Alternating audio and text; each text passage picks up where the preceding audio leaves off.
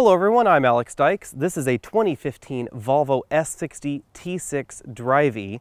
Yes, it is a 2015 model year. It is a very early 2015. And this is a Graco Classic Ride 50 child seat. And we're going to see how well three of these fit across the back of the Volvo S60 T6. We're also going to check how well they fit with rearward facing, forward facing installations, how well a person fits with two of these in the back of the car. We're going to see how well they fit in the trunk, and we're going to do just about everything we can think of to see how well child seats interact with a brand that's really been associated with safety as well as child safety for a very, very long time. Before we go any further, let me just say I'm far from an expert when it comes to installing child seats in cars, but there are experts out there available. You can go ahead and find uh, information in the description section of this video on how to find a certified child seat installer or a certified child seat inspector in your state or local area. Go ahead and find one if you have any questions about how to install a child seat safely in a car, especially if you have a new car or you're just unsure if you're new to this, if you're a grandparent and you haven't used a recent child seat, then go ahead and click those links. There's no shame in asking for help because you want to be sure that your kids are as safe as possible. I haven't strapped in this child seat yet for one important reason. The S60 is not a terribly large car, so keep that in mind. It's not as long as the BMW 3 Series. The BMW 3 Series grew absolutely huge in its last generation, has an awful lot of rear seat legroom, and that translates to rearward facing child seats fitting a little bit better in the car.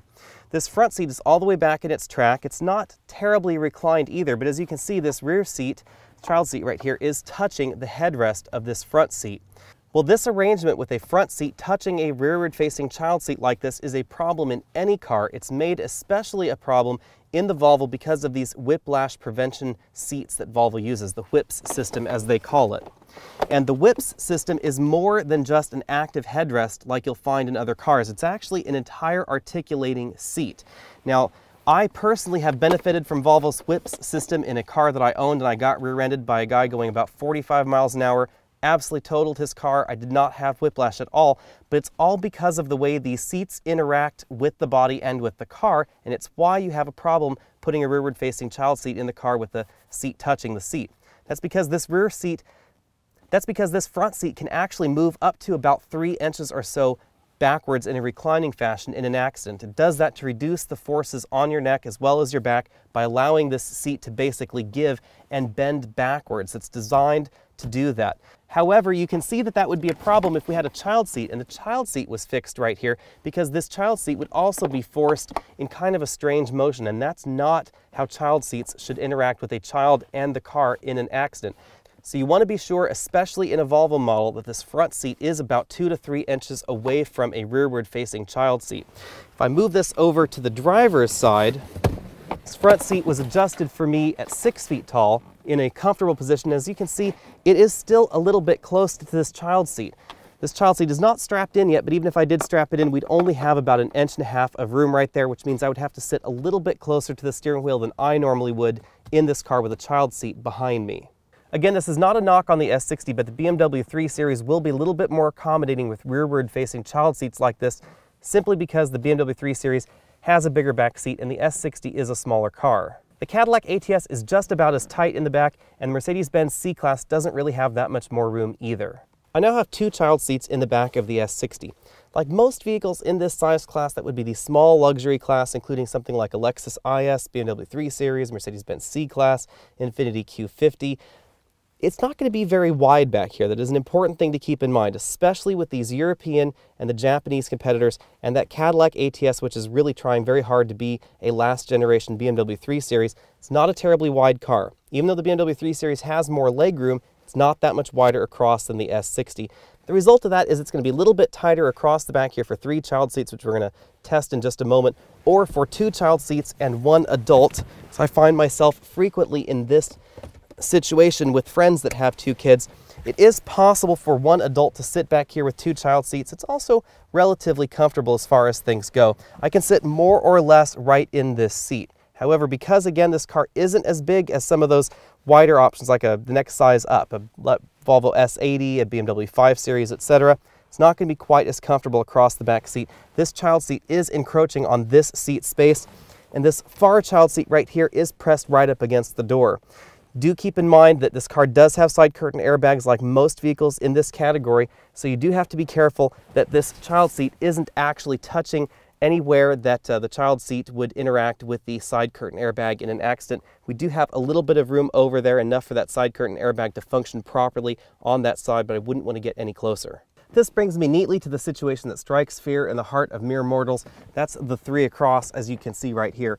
Again, because the S60 is not terribly wide, like most entries in this category, things are a little bit snug with these Graco Classic Ride 50 child seats You can see they are touching right here. They are very snug right here in the middle with one another. There is a little bit of room between the seat and the door. I can put my hand right there between the seat and the door, and I can place my hand right down here between the child seat and the armrest, although not quite as far in. So the seat is touching the armrest on the door, but it's not touching the side by the glass. In this situation, I'm a little bit less worried about the S60 versus other sedans where the child seats are very tight against the doors because there's a decent amount of room around this window portion and the child seat, some area there for the side curtain airbags to function properly. So I'm a little bit less concerned about this situation than something that's even smaller than an S60. However, if this situation describes you, then you may want to go out and look for narrower child seats. There are a few slimmer child seats out on the market that would make this situation fit just a little bit better. Before we dive into the trunk, let's talk about latch anchors. The S60, like most vehicles, have two sets of latch anchors for the outboard seats only. That means this middle seat will have to use the lap and shoulder belt to be attached to the car, although all three positions do have the top tether anchor. I've seen a number of people do this, but please do not use the outboard latch anchors for this middle child seat. They're not rated for that, so if you do get into an accident, there's always a possibility that they could accidentally detach in the vehicle. They're really only designed for the loads of one child seat and one child in the car. So if you have three across and these three seats are trying to share these two outboard seat uh, tether anchors, and that's really not an ideal situation. You should always use the lap and shoulder belt if a latch anchor is not provided in the car, especially in this middle position. Just go ahead and avoid that. Use the lap and shoulder belt. It may be a little bit trickier. You may not think it will hold the seat quite as firmly as a latch anchor can. However, it's much better than trying to share those outboard latch anchors. Again, for advice and inspections to make sure that you've done it right, just go ahead and follow those instructions down there in the description on the video where you can find a certified child seat inspector in your local area and they can of course verify your installation is all up to scratch. Volvo has long been known as a very practical company when it comes to cargo hauling. That's really obvious in the S60. Not just because the trunk is fairly generous for a car of this size, but also we have some convenient features very handy like a shopping bag holder, this little elasticized band right here to help you hold cargo in this trunk divider. makes carrying things a lot easier in your S60. We also have hinges that, well, they are these bar variety that do occupy a decent amount of trunk space. I would have preferred some true hidden hinges on the side. They are nicely covered so that way they don't interact with your cargo. So if you can fit it in the trunk, the trunk lid will close. Brings us neatly to these child seats. Even though the trunk lid on the S60 is not very long, you can see really how short it is. This trunk deck lid is very, very short kind of stubby in the S60. But the opening is very large. It's quite tall, so it is fairly easy to get these child seats in the car. and because of the shape of the trunk, it's fairly deep and fairly consistent in the way that the sizing goes back. So we have one child seat, we have number two right here, and we can very easily put child seat number three right there in the car. We still have a little bit of room left over in the trunk. In fact, we have enough room left over that if I turn these child seats just slightly, I can put this, which is the largest roller bag you can carry on a domestic flight. I can squeeze that right in there in the trunk along with the three child seats. There is still a little bit of room left right over there as well. Thanks for taking the time to watch this video. Again, I'm Alex Dykes, and this has been the 2015 Volvo S60 T6 front-wheel drive. Go ahead and click that subscribe banner over there on the bottom of your screen, and you can be updated on all of our latest videos. If this is later in the week, you can click this banner right here at the bottom of the screen over here to watch the full review on the S60 T6 when it's available. It will be about a day or two behind this video. Go ahead and like this video, comment on the video, tell me what you liked and what you didn't like about it.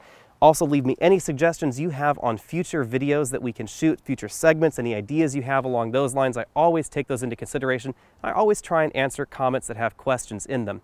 You can also find me at facebook.com slash alexonautos, and I'll see you next week.